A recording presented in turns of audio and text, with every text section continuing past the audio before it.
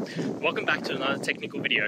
Today I'll be going through your question, answering it, and hopefully finding that solution that you're looking for. Guys, remember stay just a little bit crazy like me, and hopefully you work through that resolution. Let's continue on.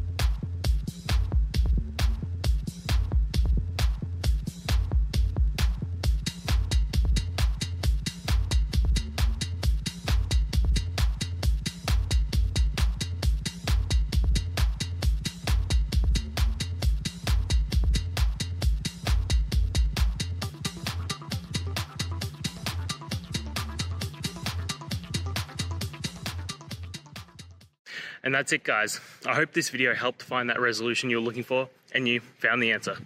Guys, please hit subscribe if it helped, and I'd really appreciate it. I'll see you next time on another one of these technical videos. Have a good one.